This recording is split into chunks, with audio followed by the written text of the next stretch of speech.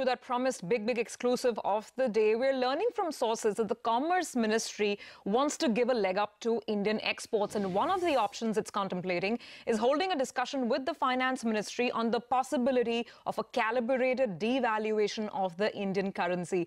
Rituparna Bhuyan broke that story. He's joining in with the exclusive details. Ritu, what are you picking up? Because this move will, of course, have far reaching consequences.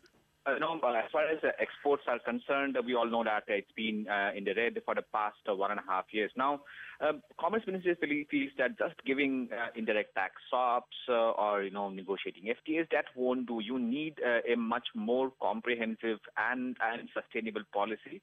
And as a part of this, uh, uh, you know, uh, policy focus, Com Commerce Ministry feels that there should be some more calibrated Uh, devaluation of the rupee because, uh, uh, uh and in Commerce Ministry feels that there is a strong case for that. Firstly, for example, the, the ministry believes that uh, there is an interest rate differential, and of course, uh, that has led to the the rupee rupee's relative relative value being being being overvalued compared to several emerging economies, current currencies of several emerging economies, and hence there's a case for devaluation of the rupee.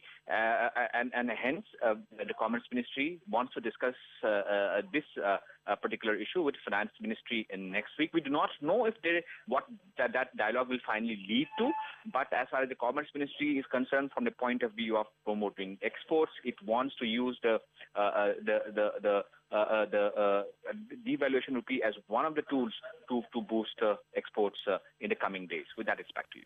All right, Ritu, thanks so much.